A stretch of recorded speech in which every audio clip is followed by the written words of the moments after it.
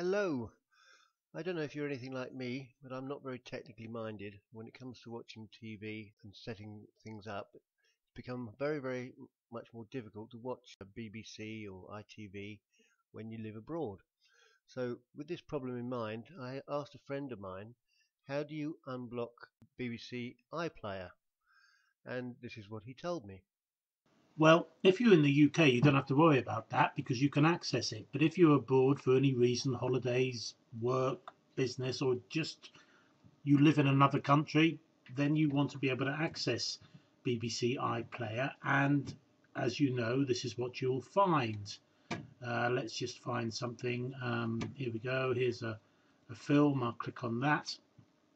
And um, pretty soon the BBC player, here we go, is going to recognize that I'm not in the UK and therefore I can't watch the content. Well, I'm going to immediately solve that. I'm going to bring up my HMA dashboard.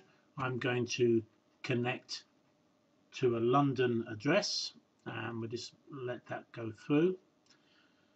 And uh, there are multiple UK addresses that you can you know link up to, but also US addresses, Canadian addresses. And here we see it, it says that my original ISP location is in France, which is where I am. But now, as far as anyone else is concerned, I'm in London and I'm connected. So I'll just close that and I'll refresh this window.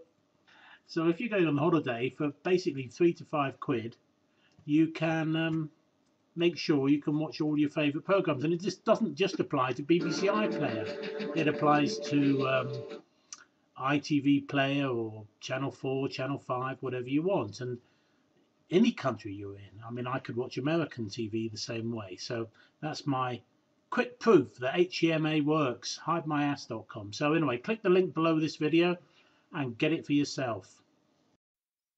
Well, that was pretty easy, wasn't it? Now you know how to do it just like I do. Get yourself sorted out. Whether you live abroad, whether you're traveling abroad for on holiday or for business, you can just buy on a monthly basis or six monthly or yearly if you want to save some money. While you're at it, why not tell your friends, Click in the link below, you can share this information on Facebook. I'm sure some of your friends would like to know about this too. So I'm very happy I've got myself sorted out now. I can watch all the programs I want anytime I want. And you can too. Thanks for taking the time to listen to this, to this video. Go ahead, click the link in this video and you'll be well on your way.